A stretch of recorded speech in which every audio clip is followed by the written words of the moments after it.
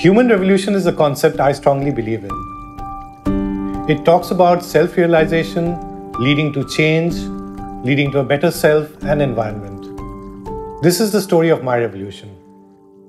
When I got to hear that I was pre diabetic, I felt a bit aghast because you know I'd just moved into uh, following a career as a food writer, and, and I thought diabetes is all about not eating. So, how could I be a food writer and not eat?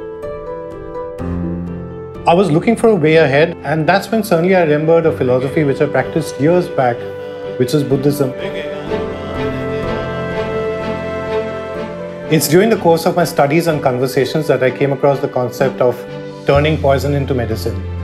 It says that no matter what has happened to you till now, you have it in you to change your current circumstances and move towards not only fixing things, but to a much better life.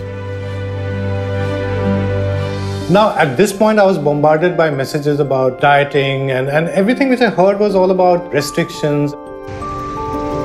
But suddenly I thought that, hey, I'm a food blogger, I'm a food writer. Above all, I love to cook. So that's when I told my doctor that you just tell me what I'm allowed, and I'm going to ensure that I don't have a single bad meal. The impression which I always had was that eating healthy meant eating expensive.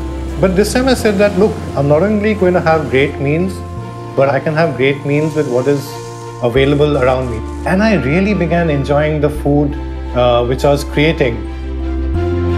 I was really happy with the results of the changes which I made, and I shared that.